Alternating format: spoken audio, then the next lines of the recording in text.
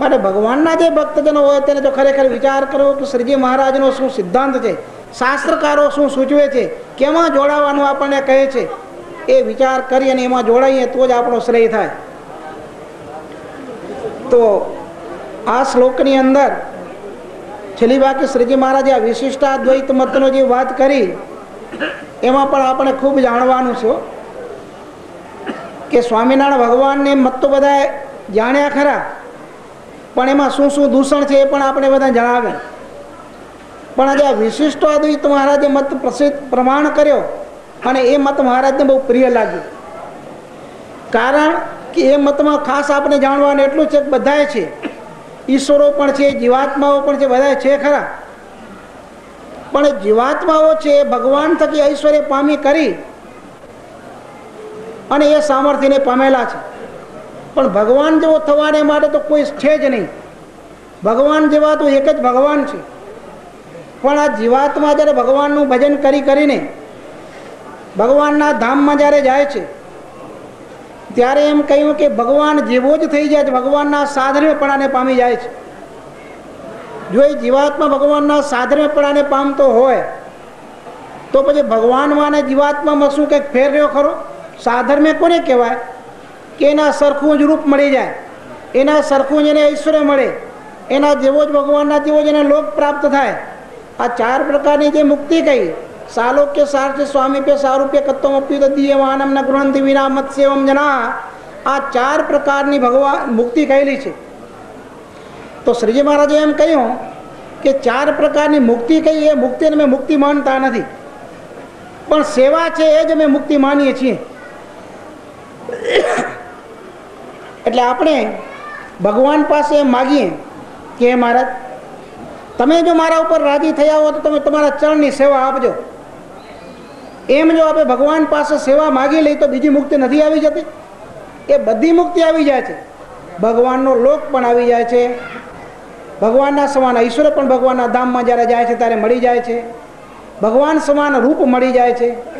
એમ વર્ણન કર્યું છે કે ભગવાનના ધામમાં જ્યારે જીવાત્મા જાય છે, તે જેવું ભગવાનનું રૂપ છે, એવું ને એવું રૂપ એને મળે છે. ભગવાનની જેમ કિશોર અવસ્થામાં રહે છે, તેમ એ મુક્તની પણ કિશોર અવસ્થા, સોળ વર્ષની અવસ્થા રહે છે. આવું ભગવાનના ધામમાં એને રૂપ મળી જાય, ઈશ્વર મળી જાય, ભગવાનનો લોક મળી જાય, એ સામર્થ્ય મળે છે, બધું મળી જાય છે. તો એમ કહ્યું કે ચાર પ્રકારની મુક્તિની ઈચ્છા તો રાખવી જ નહીં કે. ભગવાન પાસે માગવું નહીં કે મારે તમારા લોકમાં મને તેડી જાજો કે તમારા સમાન મને ઐશ્વર્ય આપજો કે તમારા સમાન મને રૂપ આપજો એવું ભગવાન પાસે કોઈ માગવાની જરૂરત રહેતી નથી. એક જ ભગવાન મારે તમારી ચરણની સેવા દેજો. એમ જ્યારે ભગવાન પાસે માગીએ છીએ ત્યારે બધી મુક્તિઓ સાથે આવી જાય છે. એટલે આમાં શ્રીજી મહારાજે આપણે એવું સમજાવ્યું કે ભગવાનના જે ભક્તજનો હોય, તેને એટલું મુખ્ય સમજવાનું કે જેટલો જેટલો ઐશ્વર્યાર્થીઓ છે, આ લોકમાં જેટલા ઐશ્વર્ય ભગવાન પાસેથી જે ઐશ્વર્ય પ્રાપ્ત કરેલા છે ઐશ્વર્યાર્થીઓ છે, એ પણ ભગવાન થકી જ પામેલા છે.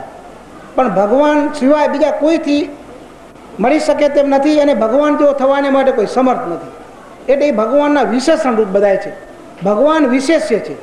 એટલે જેટલા જેટલા જગતમાં જીવ છે કે બ્રહ્મ છે કે માયા છે, બધું છે ભગવાનના વિશેષણ રૂપ છે અને ભગવાન પોતે વિશેષ્ય છે. એટલે આવી રીતે એ વિશેષણ સહિત ભગવાનને જાણવા એ વિશિષ્ટાદ્વૈત મત કહેવાય છે.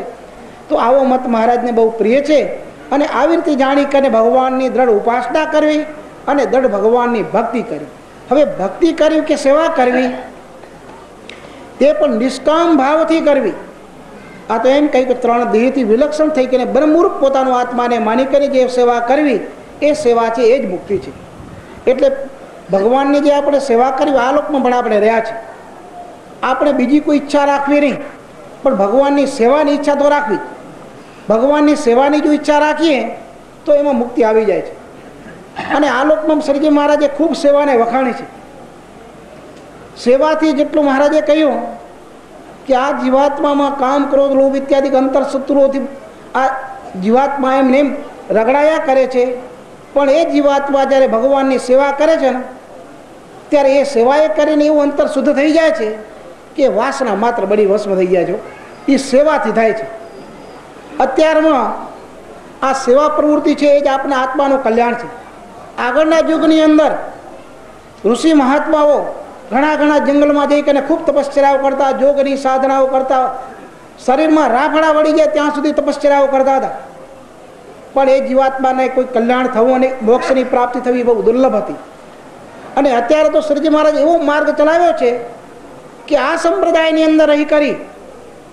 અને જો ભગવાનની કે આવા દેવ મંદિરોની સેવા કરે, કે આ સત્સંગ સમાજની કોઈ સેવા કરે, તો જીવાત્માનું કલ્યાણ અવશ્ય થઈ જ જાય છે.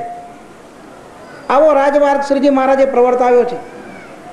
આવા આવા વિશાળ જ્યારે ભગવાન મંદિરો બાંધતા ને, ત્યારે શ્રીજી મહારાજે કહેલું કે આ મંદિરની અંદર કોઈએ પણ કંઈક થોડી ઘણી સેવા કરી હશે તો એનું અમારે કલ્યાણ કરવું છે.